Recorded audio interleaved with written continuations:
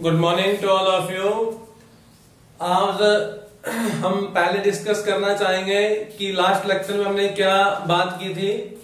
Last lecture में हमने जो डिस्कस किया था, वो क्वाड्रेटिक इक्वेशन के ऊपर, जो हमारी क्वाड्रेटिक इक्वेशन है, उसके सॉल्यूशंस हमने फैक्टराइजेशन मेथड की हेल्प से किए थे। कुछ उसके ऊपर इंपॉर्टेंट क्वेश्चंस के बारे में डिस्कस किया था। ठीक है? आज हम क्वाड्रेटिक इक्वेशन के एक नए मेथड के ऊपर चलेंगे तो हमारा जो नया मेथड होगा, जिससे हम क्वाड्रेटिक इक्वेशंस को सोल्व कर सकते हैं, और वो जो मेथड है, वो हमारा क्वाड्रेटिक फॉर्मूले के अकॉर्डिंग हम उसको सोल्व करते हैं। क्वाड्रेटिक फॉर्मूला एक मैथमेटिशियन श्री द्रोणाचार्य ने दिया था, इसको श्री द्रोणाचार्य रूल भी बोला जाता है, और अब हम इसका प्रूफ तैयार करेंगे पहले। कि ये जो रूल है, ये जो नियम है इसका जो फॉर्मूला बनता है, वो फॉर्मूला कहाँ से बनता है और कैसे बनता है, उस फॉर्मूले को हम तैयार करेंगे।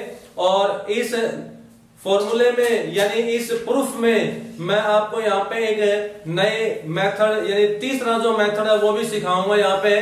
कंप्लीटिंग स्क्वेयर जो मेथड होता है, वो भी यहाँ पर क्वाड्रेटिक इक्वेशन को सोल्व करने के तीन मेथड बताए गए हैं। पहला फैक्टराइजेशन मेथड दूसरा कंप्लीटिंग स्क्वायर मेथड और तीसरा होता है क्वाड्रेटिक फॉर्मूला तो जो क्वाड्रेटिक फॉर्मूला होता है, उसका जो प्रूफ होगा, उसी के अंदर आपका कंप्लीटिंग स्क्वायर मेथड भी चलेगा। ठीक है? तो मैं आज आपको यहाँ पे प्रूफ करवाना चाहूँगा। प्रूफ ऑफ़ क्वाड्रेटिक फॉर्मूला जो हमारा क्वाड्रेटिक फॉर्मूला बनता है, उसका प्रूफ क्या है? कैसे वो तैयार होता है? हम क्वेश्चन के ऊपर फॉर्मूला डायरेक्ट यूज़ करते हैं तो हमें पता तो ना चाहिए हमारा फॉर्मूला बनता कैसे है डिराइव कैसे होता है? तो देखिए, इसके लिए हम, हमको एक इक्वेशन मान लेते हैं स्टैंडर्ड फॉर्म में लेट हम यहाँ पे इक्वेशन अज्यूम कर लेते हैं कि हमारे पास कोई इक्वेशन है quadratic equation let a x square जमा बी एक्स जमा सी इक्वल टू ज़ीरो और यहाँ पे ए की जो वैल्यू है, वो ज़ीरो नहीं होगी। ये एक क्वाड्रेटिक इक्वेशन है। इस क्वाड्रेटिक इक्वेशन से हम क्वाड्रेटिक फॉर्मूला डिराइव करेंगे, इसका प्रूफ तैयार करेंगे। तो सबसे पहले, सबसे पहला स्टेप सबसे पहला स्टेप आपको नोट करना है यहाँ पे। स्टेप जो आपका फ़र्स्ट होगा स्टेप नंबर फ़र्स्ट देखिए। स्टेप नंबर फ़र्स्ट हमारे पास क्या बनता है यहाँ पे? स्टेप नंबर फ़र्स्ट ये कहता है कि जो आपके पास ये क्वाड्रेटिक इक्वेशन है, इस क्वाड्रेटिक इक्वेशन के अंदर जो एक्स स्क्र का कोफिशियंट है, उस कोफिशियंट्स को हमें कांस्टेंट जो भी है यहाँ पे, उस कांस्टेंट को हमें हटाना है और उसकी जगह पे वन कांस्टेंट हमें लेके आना है, यानी कि यूनिटी बनानी हमें एक्स स्क्वेयर का जो कॉफिशियंट है, वहाँ पर हमें यूनिटी बनानी होगी।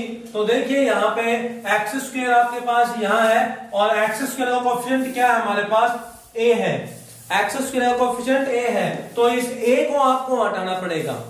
देखिए यहाँ पे ये जो आपके पास क्वाड्रेटिक इक्वेशन है, इसका हम यहाँ पे प्रूफ तैयार कर रहे हैं क्वाड्रेटिक फॉर्मूले के लिए। और प्रूफ तैयार करने के लिए हमें यहाँ कंप्लीटिंग स्क्वेयर मेथड को यूज़ करना होगा। यानी कि जो इसका प्रूफ है ना, वो किस तरह से तैयार करेंगे हम? यूजिंग कंप्लीटिंग स्क्वेयर मेथड यानी कि जो इसका प्रूफ है, वो इस फॉर्मूले के, इस मेथड के ज़रिए होगा इसका प्रूफ तो जो एक्स स्क्वायर का कॉफिशियंट है वो यहाँ ए है, हमें वन बनाना है तो हम यहाँ पे डिवाइड करेंगे ए से तो यहाँ लिखेंगे divide by a divide by a on both sides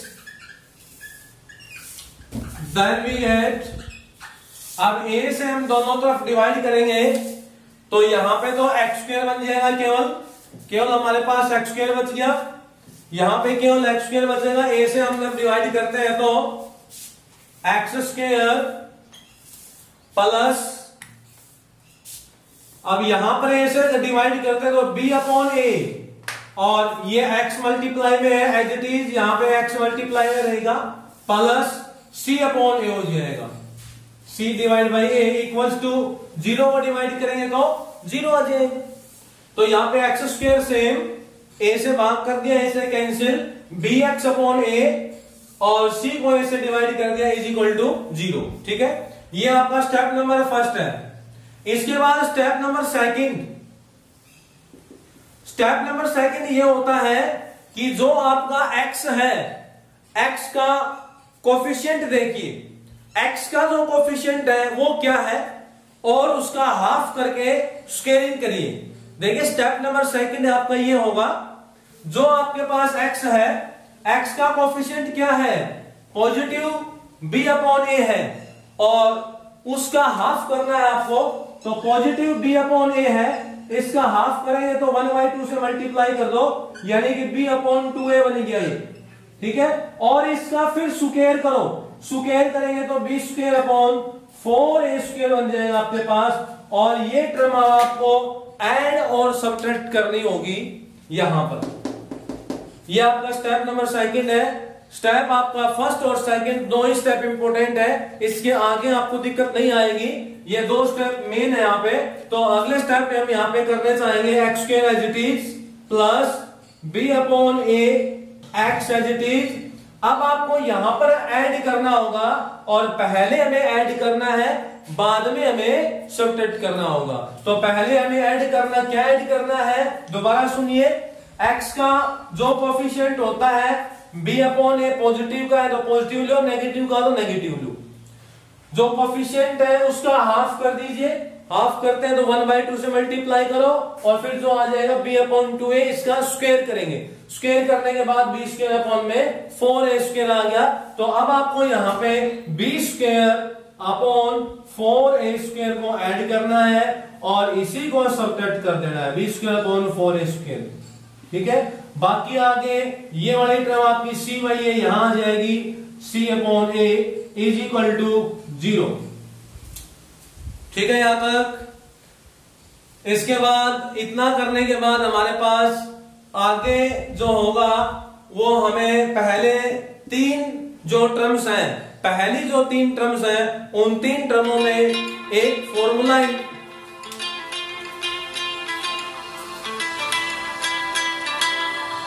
by two a हो गया, फिर उसका स्क्वायर कर दिया स्क्वायर करेंगे तो b square upon four a square हो गया और इसको हमने यहाँ ऐड कर दिया सब्ट्रैक्ट कर दिया। अब इसके बाद हमने यहाँ पे डिस्कस कर रहे थे कि ये जो हमारे पास तीन टर्म्स हैं, इन पहली तीन टर्म्स को हमें यहाँ पे एड यानी इन पहले, पहली तीन टर्म्स को हमें देखना है और इन तीनों टर्म्स में एक आपके पास फॉर्मूला बनेगा यहाँ पे। एक फॉर्मूला यहाँ पे बनेगा और वो आपको देखना है कौन सा फॉर्मूला बनेगा। देखिए, मैं यहाँ पे अलग से लिखना चाहूँगा। ये एक्स है। इस एक्स को मैं ऐसे लिख सकता हूँ। स्क्वेयर भी दिया हुआ साथ में तो एक्स स्क्वेयर बन जाएगा। ठीक है? प्लस यहाँ पे ये बन जाएगा बी अपॉन टू ए का होल स्क्वेयर हो गया आपके पास। ठीक है? और प्लस अब देखिए ध्यान से, ये आपके पास एक्स स्क्वेयर था, मैंने इसको ऐसे लिखा। ये b upon b square upon में फोर ए स्क्वेयर है। तो इसको मैंने कैसे लिख दिया? देखिए बी स्क्वेयर को लिख दिया, यहाँ पे बी स्क्र तो बी का स्क्वेयर हो गया। फोर ए स्क्वेयर है, इसको मैं लिख सकता हूँ टू ए का स्क्वेयर तो यानी कि फोर ए स्क्वेयर बन गया। यानी बी अपॉन टू ए सारे का होल स्क्वेयर करेंगे तो ये आपके पास आ जाएगा। और अब आप यहाँ पे ध्यान से देखिए, आपने एक एल्जेब्रिक में फॉर्मूला पढ़ा होगा ए जमा बी होल स्क्वेयर ए जमा बी होल स्क्वेयर होता है ए स्क्वेयर जमा बी स्क्वेयर जमा दो ए बी होता है तो वही आपके पास यहाँ बन रहा है फॉर्मूला ए की जगह पे आपके पास एक्स होगा और बी की जगह पे बी अपॉन में टू ए होगा. और प्लस यहाँ पे इन दोनों का होल स्क्वायर बनेगा तो ध्यान से देखिए एक बार, x का स्क्वायर आपके पास ये आया हुआ है, b अपॉन में टू ए का स्क्वायर आपके पास ये आया हुआ है, और जमा दो ए बी और दो ए बी भी आपके पास बन जाएगा। देखिए क्या बनेगा यहाँ पे, दो ए का मतलब x हो गया, b का मतलब है b अपॉन टू ए हो गया। तो यहाँ पे देखो, दो से दो कैंसिल करोगे तो क्या बन के आएगा? X गुना में b अपॉन ए तो वही बात यहाँ x गुना में b upon a it mean इन तीनों टर्म्स से हमारे पास क्या बन गया एक फॉर्मूला बन जाएगा यहाँ पे। और बाकी की जो बची हुई टर्म्स उनको हमें राइट साइड में लेके जाएँगे। तो राइट साइड में ले जाएँगे तो आपके पास क्या आ जाएगी? देखिए इज़ इक्वल टू ये बी स्क्र अपॉन में फोर ए स्क्र ये आपका पॉजिटिव हो जाएगा और माइनस का सी अपॉन में ए हो जाएगा। ठीक है, यहाँ तक इस बात को ध्यान में रखना है। ये आपका यहाँ पे स्टेप नंबर थर्ड ठीक है? स्टेप नंबर थर्ड यहाँ पे आपका इंपॉर्टेंट और भी है। इसमें इस बात को ध्यान में रखिए, अगर यहाँ प्लस है तो आपका ये ए प्लस बी का होल स्क्वायर बनेगा और अगर माइनस हो तो ए माइनस बी का होल स्क्वायर बनेगा। इन तीनों टर्म्स के संबंध से, इन तीनों टर्म्स को जब ऐड करेंगे तो वहाँ पे आपका x जमा में दो बी अपॉन में दो ए का होल स्क्वायर बनेगा और इसके बारे में हमें कैसे पता लगा? क्योंकि यहाँ एक्स स्क्वायर तो मैं इसको ऐसे लिख सकता हूँ एक्स का स्क्वायर ये b square upon four a square मैं इसको लिख सकता हूँ बी अपॉन टू ए का स्क्वायर और यहाँ b by a into x है, इसको मैं ऐसे लिख सकता हूँ यानी दो गुणा में ए का मतलब एक्स और बी का मतलब बी अपॉन टू ए दो से दो काटोगे तो वही बन के आएगा आपके पास जो यहाँ है। इट मीन ये होल स्क्वायर बन गया। किसका होल स्क्वायर बन गया? एक्स जमा बी अपॉन में टू ए और इस सारे का आपके पास होल स्क्वायर आ गया। इज़ इक्वल टू के बाद अब ये है तो हम इसका ले लेते हैं यहाँ पे एल्सियम। और एल्सियम लेंगे तो आ जाएगा four a square four a square से four a square cancel, b square आ जाएगा, माइनस में यहाँ पे देखिए ए है तो ए से भाग करेंगे तो फोर ए बच जाएगा तो फोर ए और गुणा में ए सी आ जाएगा। ये आपके पास एल्सियम लेने के बाद आया है। अब यहाँ पे देखिए स्क्वेयर है। हम इस स्क्वेयर को हटाना चाहते हैं। अगर स्क्वेयर को हटाएँगे तो फिर हमें क्या करना पड़ेगा? दोनों तरफ़ क्या लेंगे? स्क्वेयर रूट लेंगे। दोनों तरफ़ क्या लेंगे हमें? स्क्वायर रूट ले लेते हैं। तो taking square root on both side दोनों तरफ़ हम स्क्वायर रूट लेते हैं। यहाँ पे लिख देता हूँ मैं आगे। दोनों तरफ़ हम स्क्वायर रूट लेंगे तो यहाँ पे देखिए क्या हो जाएगा। एक्स प्लस में बी अपॉन में दो ए और इस सारे का स्केयर है। इसका स्क्वायर रूट लेते हैं। इस तरह से आ जाएगा। और यहाँ पे देखिए बी स्केयर माइनस में four a c is equal to के बाद में b square minus four a c upon में फोर ए स्क्र और इसका भी हम स्क्र रूट लेते हैं इस तरह से। और इसका भी स्क्र रूट लेंगे फोर ए स्क्र अब देखिए दोनों तरफ़ हमने स्क्र रूट ले दिया है। यहाँ पे इस स्क्र से और ये रूट आपके पास कैंसिल हो जाएगा। अब देखिए, यहाँ पे जब आप इसका स्केयर से रूट इस तरह से कैंसिल करोगे तो यहाँ पे हमारे पास जो अंदर वाले जो टर्म्स है, इसके दो केसेस बनते हैं। यानी x प्लस में b अपॉन टू ये वाली टर्म है। हो सकता हो ये अपने आप में पॉजिटिव हो, फिर उसका स्केयर हो रहा हो। सकता हो ये अपने आप में नेगेटिव हो, उसका स्केयर हो रहा हो। तो यहाँ से आपके पास रिज़ल्ट क्या आएगा? हम इसको लिख सकते हैं, x प्लस में b upon two a is equal to plus minus और यहाँ पे आपके पास आ जाएगा square root of b square minus four a c divide by इसका स्क्र रूट करेंगे तो दो ए हो जाएगा चार का रूट लेंगे, चार का रूट लेंगे तो दो, और ए स्क्र का रूट लेंगे तो ए बन जाएगा। तो ये आ जाएगा आपके पास टू टाइम्स ऑफ़ ए अब इसके बाद हमें x का मान निकालना है तो x की वैल्यू क्या आएगी? देखो यहाँ से x इज़ इक्वल टू ये b अपॉन टू ए है, ये यहाँ पॉजिटिव का है, उधर जाएगा तो नेगेटिव का हो जाएगा, यानी कि माइनस का लिखा जाएगा, b अपॉन टू ए क्या लिखा जाएगा? माइनस का, और ये आपके पास प्लस माइनस का निशान है इसमें, और यहाँ पे उसके root of b square minus में फोर ए सी है यहाँ पे फोर ए सी है और डिवाइड बाई टू ए हो जाएगा। अब दोनों का हम एल्सियम ले लेते हैं। यहाँ भी टू ए यहाँ भी टू ए तो दोनों का एल्सियम लेते हैं तो हमारे पास एल्सियम आ जाएगा टू ए एल्सियम कितना हो गया? टू ए और ये आ गया माइनस का b plus minus square root of b square minus में फोर ए सी ये आपके पास किसकी वैल्यू होगी? X की वैल्यू होगी, यानी कि इस क्वाड्रेटिक इक्वेशन में इस x वेरिएबल का मान क्या हो जाएगा? माइनस बी प्लस माइनस के root b square minus four a c upon two a और इसी को हम किस नाम से जानते हैं? ये जो आपके पास x की वैल्यू आई है, ये जो x की वैल्यू है, इसी को हम बोलते हैं that is a quadratic formula इसी को हम क्या नाम देते हैं? इसी को हम नाम देते हैं क्वाड्रेटिक फॉर्मूला तो ये आपका एक मेथड हो जाता है, एक फार्मूला बन जाता है एक्स का मान निकालने का या सॉल्यूशन ऑफ़ क्वाड्रेटिक इक्वेशन बोला जाता है यहाँ पे, या रूट्स भी कह सकते हैं। यहाँ पर आपके पास दो वैल्यू आएँगी, एक पॉजिटिव और एक नेगेटिव की कौन कौन सी दो वैल्यू होंगी? देखिए मैं लिखना चाहूँगा कौन कौन सी यहाँ पे दो वैल्यू बनती है? एक वैल्यू तो आपके पास यहाँ पे बनेगी एक्स की एक वैल्यू बनेगी यहाँ पे minus b plus square root of b square minus four a c upon two a यहाँ पे एक वैल्यू तो ये बन जाएगी। B square minus four a c है या रूट है और आगे पॉजिटिव और नेगेटिव ये दो साइन है। इन दोनों में से पहले आपको प्लस का लेना है और दूसरा माइनस का साइन ले लेते हैं। तो ये आपका माइनस का b square minus four a c upon two a बन जाएगा। ये आपके पास दो वैल्यूज़ हो जाएँगी और ये जो दोनों वैल्यूज़ हैं, इनको हम अल्फ़ा और बीटा के नाम से जानते हैं। यानी कि क्वाड्रेटिक इक्वेशन के दो रूट्स बोले जाते हैं और वो रूट्स क्या बोल देते हैं? अल्फ़ा और बीटा के नाम से जानते हैं। तो ये हमारा प्रूफ है।